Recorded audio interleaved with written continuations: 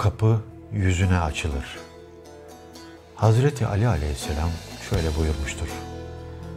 Eğer namaz kılan kimse Allah'ın celalinin onu nasıl kapladığını bilseydi, asla secdeden kafasını kaldırmayı sevmezdi.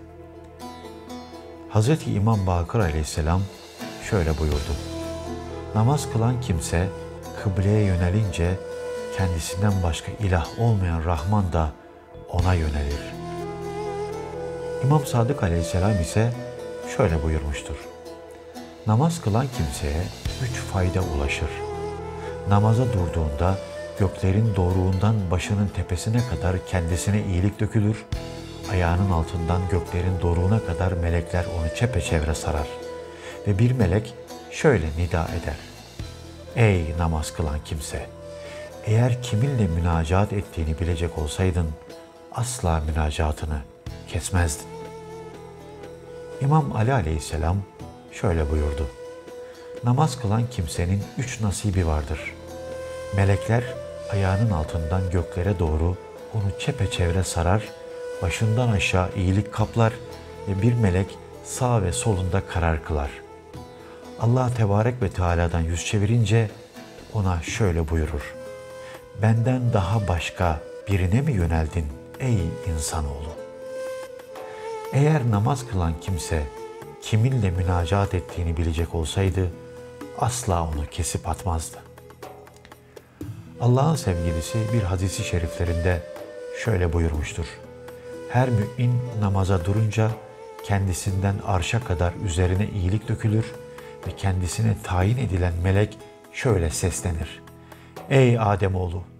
Eğer namazdan ne nasipler edindiğini ve kiminle münacatta bulunduğunu bilecek olsaydın asla yorulmaz ve yüz çevirmezdin.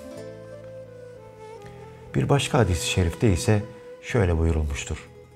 Namaz halinde olduğun müddetçe muktedir olan bir sultanın kapısını çalmış olursun. Her kim bir padişahın evinin kapısını çok çalarsa sonunda o kapı yüzüne açılır. Hazreti Ali, insan namaza durunca Allah'ın rahmetinin onu çepeçevre sardığını gören iblis kıskançlık içinde ona bakar buyurmuştur. Yine şöyle buyurmuştur. İnsan namazda olduğu zaman bedeni, elbisesi ve etrafında olan her şey tesbih eder. İmam Rıza aleyhisselam ise namazın dört bin kapısı, hükmü ve meselesi vardır buyurmuştur.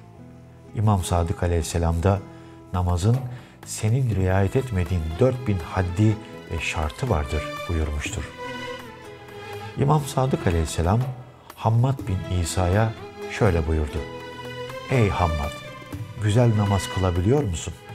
O halde kalk ve namaz kıl. Hammad şöyle dedi.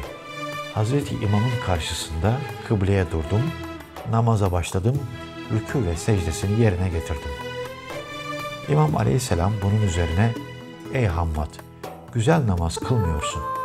İnsanın 60-70 yıl ömür sürdüğü halde kamil şartlarıyla bir namaz kılmaması ne de çirkindir buyurdu.